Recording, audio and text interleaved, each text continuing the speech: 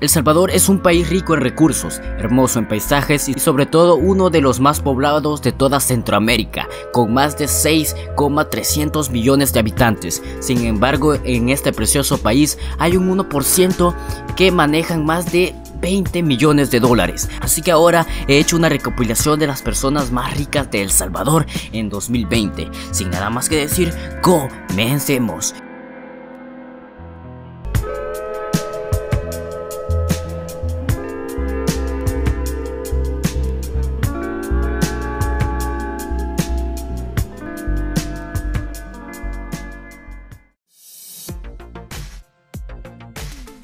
Y en la posición 5 tenemos a Nayib Bukele.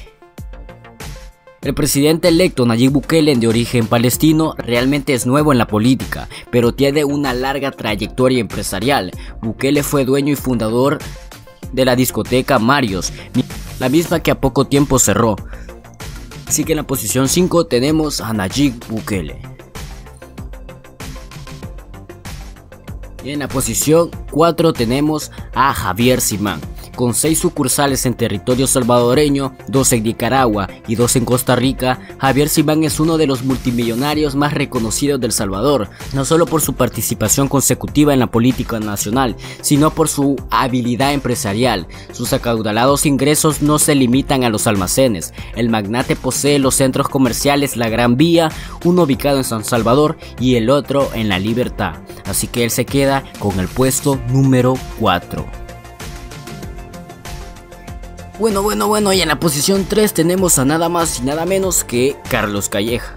Vicepresidente del Grupo Calleja y dueño de 100 centros comerciales en El Salvador, genera una fortuna casi incontable. Cabe destacar que anteriormente se postuló para la presidencia del Salvador, sin embargo fue derrotado electoralmente por el actual presidente Nayib Bukele. Solo un centro comercial genera cerca de 225 millones de dólares cada año y posee 100 a nivel nacional. Además, Grupo Calleja es uno de los negocios que más genera empleos directos en El Salvador. Y en la posición 2 tenemos a Roberto Criate. El presidente ejecutivo de Grupo Criaten y expresidente de TACA Airlines posee empresas en el sector de aerolíneas aerolíneas, bienes raíces, hotelería, agroindustria y fondos de inversión. Ahora es un economista Ahora es un economista mayoritario de Avianca, anteriormente TACA, que tiene ventas de 3.800 millones de dólares por año. Y en la posición 1 tenemos a Ricardo Poma, el multimillonario el multimillonario presidente ejecutivo del grupo Poma es uno de los más acaudalados magnates del Salvador. De hecho, es el más millonario. Sus empresas que se manejan en los sectores automotrices, servicios financieros, industriales y hospitabilidad. Y bueno, gente, así es como terminamos con, este, este tipo top que he hecho de las personas más millonarias del Salvador.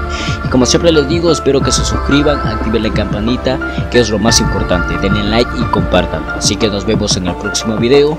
Adiós.